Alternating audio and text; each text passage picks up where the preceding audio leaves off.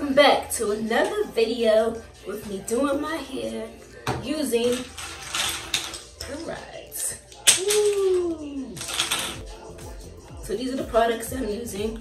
My hair is already freshly washed. I'm just gonna put in some Cantu Moisture Twist and Lock gel. Some water if I need it, but my hair's already wet.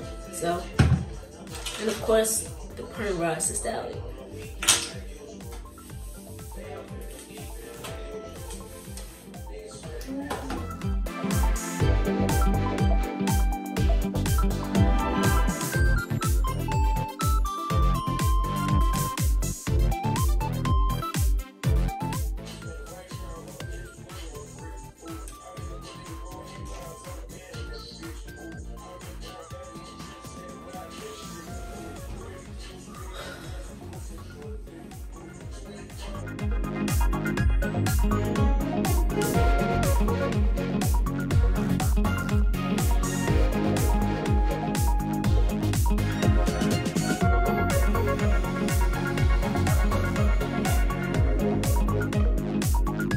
Bye.